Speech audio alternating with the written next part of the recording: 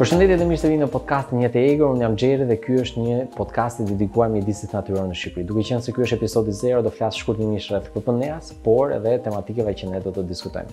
Atëherë Qendra për Ruajtjen dhe Mbrojtjen e Mjedisit Natyror në Shqipëri është një organizatë jo qeveritare, jo fitimprurëse e themeluar në vitin 1991 Dhe njihet ndryshe si organizata e parë mjedisore në vend. Në qoftë se nuk na keni dëgjuar si PPNEA, ju padyshim keni dëgjuar llojet që ne studiojmë dhe punojmë, siç është rrëqebulli i Ballkanit, kali i qyqes, foka e Mesdheut, leleku, ujku, ariu, çakalli, e të tjerë, por edhe zonat që ne jemi të fokusuar, siç është mali i Munellës, parku i Prespës, Divjakë-Karavasta, Vjosë-Narta, Shebeniku, Korab-Koritniku, e të tjerë, e të tjerë. PPNEA është e fokusuar në pesë fusha të ndryshme veprimi, ato janë ruajtja dhe mbrojtja e llojeve të rëndësishme, ruajtja dhe mbrojtja e habitateve të rëndësishme, studimi i llojeve me rëndësi dhe i habitateve, lobimi, edukimi për çështje me rëndësi për mjedisin, por edhe zhvillimi institucional i organizatave të shoqërisë civile mjedisore.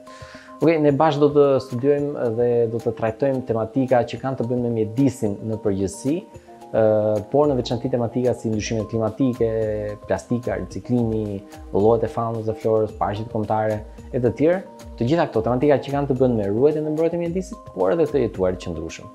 Ok, shumë faleminderit që na ndoqët. Ju lutem na ndiqni në kanalin tonë në YouTube dhe platformat uh, përkatëse të podcastit, siç është Google Podcast, Apple Podcast dhe na sugjeroni dhe shkruani për tematika për episodet e ardhshme. Shumë faleminderit.